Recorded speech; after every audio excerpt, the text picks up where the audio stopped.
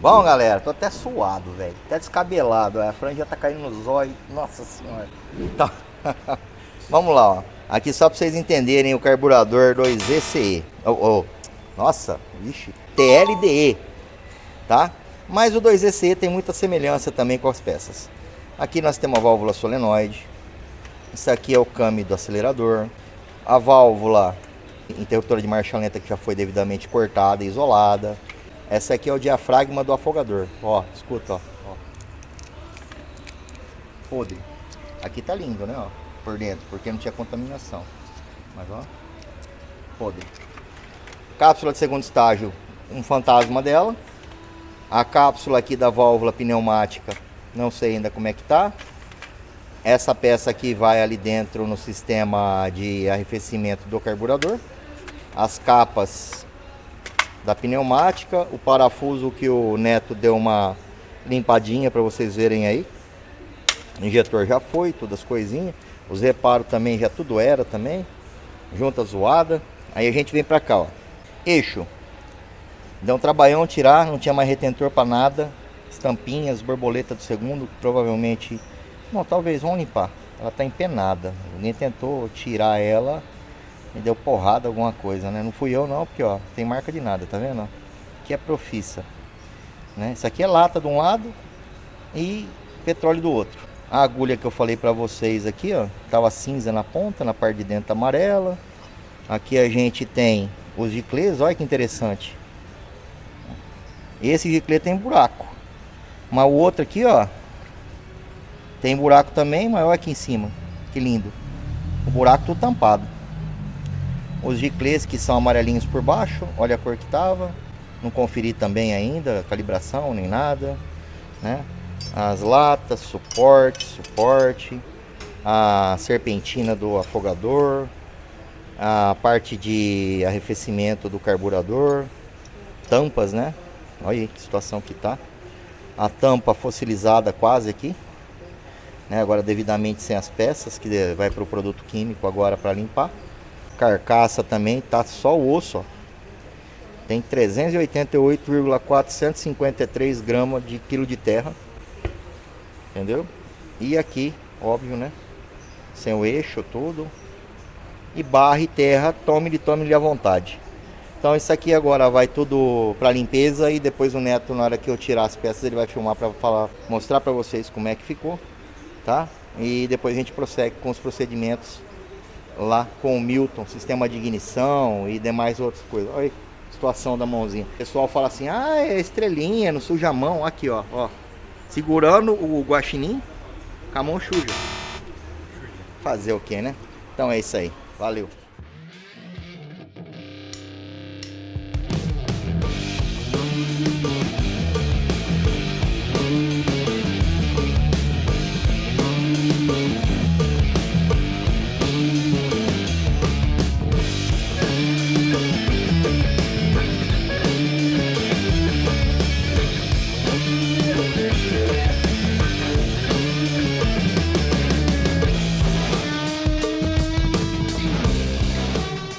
Bom, galera, vamos lá.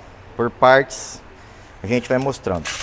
Aqui na, na bandeja tem algumas pecinhas, né? Parafusinho praticamente, alguns reparos zoados, tal e coisa. Aqui a gente tem os reparos da LP, que a gente vai utilizar, e as juntas também da LP. Falando em juntas, só para vocês entenderem aqui a situação.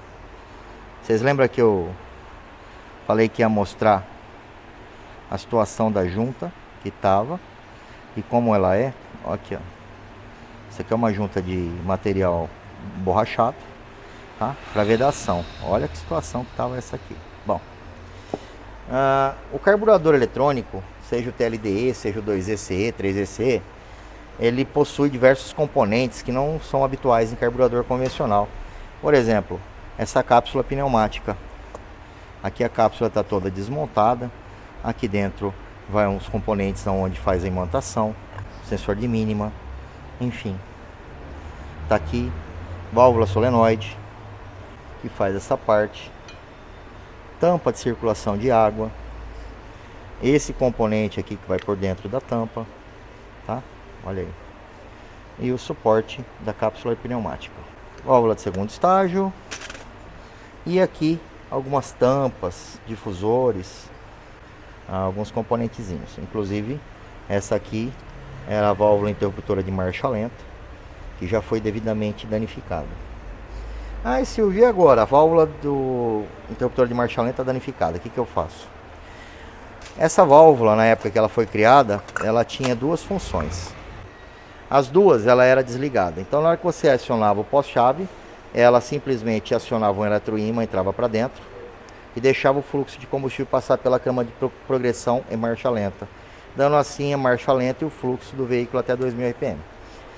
Na hora que você desligava o contato, a válvula empurrava o êmbolo para frente e trancava esse circuito para não ter partida longa quando você dava partida com o carro quente e para evitar o processo de detonação por carvão. Além do que, através da válvula pneumática e do sensor de mínima, que seria essa pontinha aqui, na hora que você estava na, na estrada em rotações aí a 2.000 RPMs, um pouquinho mais, um pouquinho menos, você tirava o pé e ele encostava esse sensor de mínima numa superfície metálica que tem aqui no eixo, aonde desconectava também a válvula solenoide, fazendo com que ela fechasse e o carro aproveitasse os gases que vinham do tanque através do sistema canister. Tirando isso, a gente tem um carburador praticamente convencional com a seguinte diferença: a base dele ela vai rolamentos em vez de buchas. Então, onde vai eixo aqui tem rolamento, não bucha. No segundo estágio tem bucha, no primeiro tem rolamentos. Fala galera, beleza? Vamos dar um talinho aqui no cofre do roleta do Felipe. Estamos de sabadão hoje aqui, agilizando o trampo. Se liga como tá aí, Netinho. Dá um salve. Olha que coisa linda que tá. Deixar esse carro zero de novo. Bem sujo.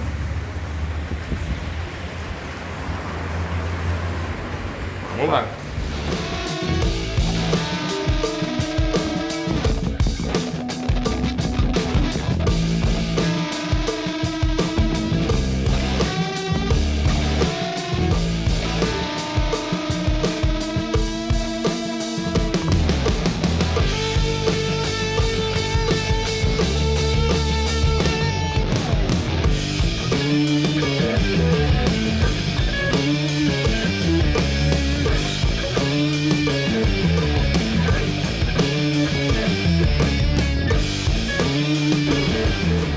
Pessoal, já foi feita a limpeza aqui do cofre.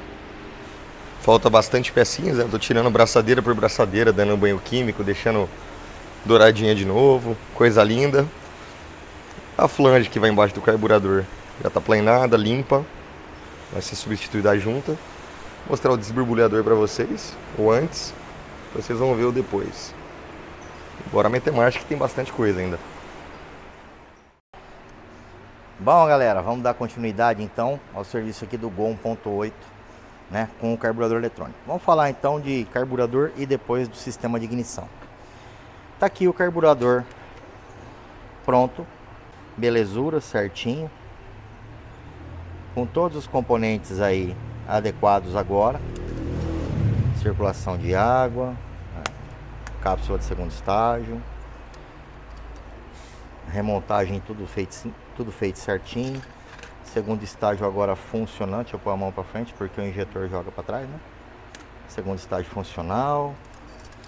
Perfeito. Daqui a pouquinho o carburador vai pro carro e boas. Aí vamos falar de sistema de ignição.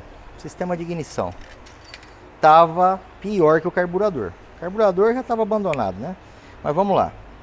Aqui é um carro, que ano que ele é, Milton? 92? Acho é 92, 93, tá? Ele usa o sistema de ignição HAL. Como ele usa o sistema de ignição HAL, ele usa um rotor 300, que tem essa parte da frente aqui bem mais avantajada e tem uma resistência de 1K. Ele estava usando um rotor 215, todo pebado aqui já, ó, tá? É bem menor a parte de superfície de faísca e simplesmente a resistência é 5K. Então aqui a gente tem uma perca de faísca, vamos dizer assim, uma filtragem maior com rotor com 5K de resistência e uma filtragem menor com R1, ou seja, uma resistência de 1K, além da maior área de superfície. Traduzindo, esse aqui dá uma faísca melhor e com um intervalo menor. Aí, se a gente pensasse que só isso era o problema, tava bom. Dá uma olhada nas velas que estavam aqui nesse carro. Nós temos uma vela BPR 5ES, tá certo? Nós temos uma vela WR 7DS, mas já da Bosch, aqui NGK, aqui Bosch. A graduação térmica já é um pouquinho diferente, tá? A gente tem aqui outra vela BPR 5ES e tem outra vela WR5D. Tá aqui, ó. WR5D para álcool, no entanto está carbonizada. WR7DS é a gasolina, mas também é uma graduação térmica mais baixa no caso, é tá carbonizada. E as duas BPR 5S que estavam com a nomenclatura correta, tudo certinho. E gastas, né? Então a gente vai utilizar velas Gauss GV5R04 tá? GV5R04, que é a vela compatível com a NGK BPR 5ES. Tá? A mesma graduação térmica, tudo certinho. Para quem está perguntando se a cabecinha, essa cabecinha sai aqui com alicate, tá bom? E bom, ainda que se fosse só as velas, tava bom, mas pode piorar. A gente tem um jogo de cabos de vela aqui. É, não sei nem que marca que é isso aqui. Bem deteriorados, bem detonadões já. Mas o mais grave de tudo é o seguinte. Dentro da tampa do distribuidor vão pinos. Pinos de encaixe. Então eles encaixam com pino. Esses cabos de vela aqui não são de encaixe de pino. Aqui foi feita uma gambiarra, aonde dobraram o encaixe do cabo, que originalmente era para tampa de carro velho, né? Carro antigo. É para tampa 056. Tá? Originalmente ela tinha um encaixe externo. Aí pegaram uma gambiarra, amassaram e colocaram aqui e tá tudo certo. Mais ou menos o seguinte, ó, colocaram aqui, ó, e falaram, não, tá encaixado. Né? Olha aí, ó. Tá encaixado. Isso é terrível. Primeiro que a resistência dos, dos cabos de vela, os cabos têm que ser de cobre. E aqui na ponta tem a resistência de 5K. Aqui a gente vê 5K escrito. Mas não estava dando nada, estava dando 20, 15, totalmente fora. Tá calor, gente, fazendo 40 graus hoje, tá? E a gente tem que desligar o ventilador para gravar. Então a gente vai colocar o jogo de cabos GC5031. Aqui está escrito Ford Versailles ou Quantum, mas se aplica a toda a linha motor AP 1.6, 1.8 ou 2.0, tá? Que tenha conectores de grampo, tá? Que use sensor Hall, ou mesmo cabo 370 com o distribuidor com bobina impulsora. A diferença é justamente essa. Você pega aqui no cabo, vem um grampo, aonde você vê, por exemplo, encaixado desse jeito aqui, ó. Tá encaixado? Quem tá segurando é essa parte de borracha aqui, né? Na realidade, agora vamos ver o cabo certo. Ó. Tô rodando. ó. Beleza? Então vamos fazer de novo. Ó, vamos lá, ó. Ó, o barulhinho aqui, ó. Vou pôr o microfone, ó. ó. Deu para escutar, né? Então, o que, que acontece? Esse grampo, além da pressão correta da borrachinha, que é bem flexível, ela faz com que o contato seja perfeito. E a resistência aqui com os cabos de cobre e com os, as pontas resistivas, tá? Ele consegue dar o 5K mais um, dá 6. O da bobina são dois de um, dá 2. Beleza? Então é isso que vai acontecer. Cabo de vela da Gauss. Ai meu olho. é, caiu o suor no meu olho. Ó, agora eu fico com olho azul e vermelho. Não, ó, não usei aquilo que vocês estão pensando. Caiu, caiu suor no meu olho. Bom, cabos de vela da Gauss, velas da Gauss, rotor Bosch, tá? Tampa 442 Bosch. E esses can, cangai aqui, velho, aqui, nós vai tacar assim, ó. Meio do mato, assim, ó. ó. Acabou. E o Milton, vou chamá-lo aqui. Ó, olha o braço do Milton, filma o braço do Milton. Hum, que braço sexy, ó. Aproveitando aqui a situação, olha, olha a situação que tava o arrefecimento desse carro, né? Olha lá dentro. Tá brabo, né? O que, que você vai fazer, Mirto? Vai limpar ou vai trocar? e agora? E agora? Ó, o legal é que parece que é um, um... Ah, não, não é original, mas não. Se fosse origem, Se fosse original, eu ia falar pra você limpar. Tá muito encardido. Eu acho que isso aqui vai ganhar um irmão mais novo dele, porque tá muito feio. Beleza? Aproveitando aqui, ó. Ó, Mirtão. Tem, ó. Um pouquinho do sistema, lembrando que o avanço do distribuidor está estourado. Tem que fazer uma revisão no distribuidor. Agora colocou na mangueira de servofreio nova, tudo certinho. Depois da higienização, vocês lembram do desborbulhador? Dá um close aqui, Netinha. Ó, brinca. Todas as braçadeirinhas, estou tirando uma por uma, dando banho químico. Agora falta a mangueira do, do reservatório, as braçadeirinhas também, tudo certinho. Já instalei a flange, limpinha, coisa linda. E vamos lá, vamos meter marcha. Vamos meter marcha e ver o bichão gritar. Uau! Bom, galera, vamos que vamos. Aqui tá quase pronto. Olha que belezinha que o Milton tá deixando. Daqui a pouco a gente vai colocar o carburador. Mas muito importante, a gente trocou reservatório, tampa. Não vou adicionar água agora ainda, nem o aditivo, que ainda está aberto ali as junções, senão vai vazar tudo para fora, tá? A gente vai usar aqui a água desmineralizada da TNT, tá bom? E vai usar também o fluido para radiador da TNT. Esse fluido para radiador da TNT e água desmineralizada, você vai encontrar na Carmapec Distribuidora, em Santo André, tá?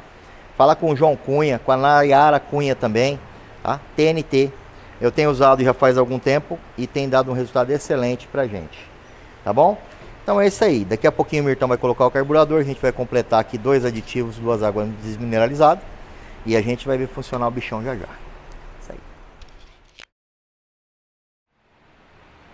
Bom, galera, a gente trabalhou nesse carro quinta, sexta e hoje segunda-feira, tá?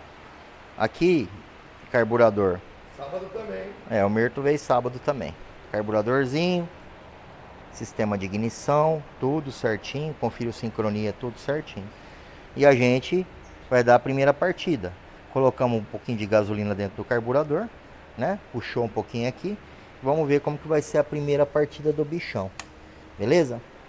Vê se tá em ponto morto aí, Mirto, e chama.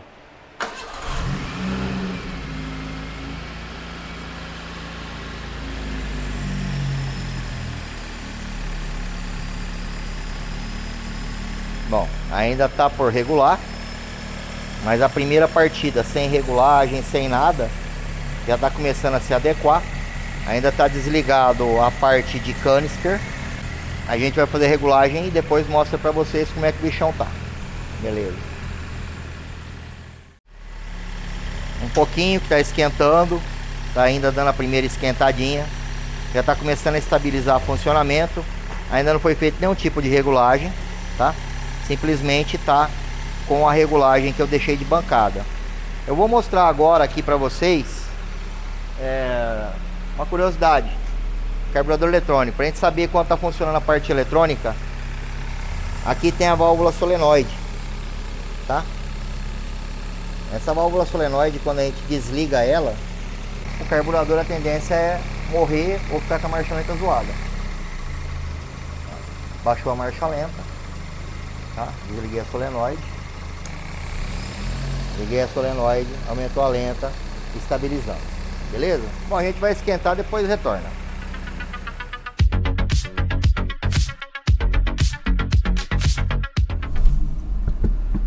Bora dar uma volta de goletão.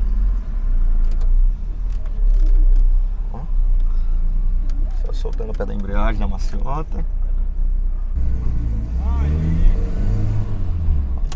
Anda de boinha. Cara, que carro redondo. De leve. Terceirinha. Uma quartinha aqui de leve. Cara, que carro redondo. Agora mais redondo ainda. Inclusive o Felipe tinha comentado que foi mexer na parte de freio aqui traseiro. É, os amortecedores são Volkswagen ainda, cara. Vamos ver, dar uma chamadinha. Ó, de terceirinha. Ó, segundo. Nossa, o carrinho tá, tá falando demais. Correção da marcha lenta, perfeito, cara. Nossa senhora, maravilhoso. Ó.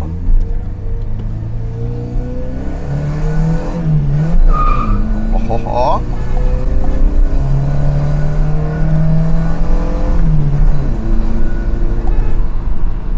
Que teteia de carro, cara. Que teteia, ó. Retomada. Isso que não deu um grau no distribuidor, galera. Se der um grau no distribuidor aí que o bicho ficou um demônio. Chuchuco. Aprovede. Uma chamadinha mais forte aqui. Opa.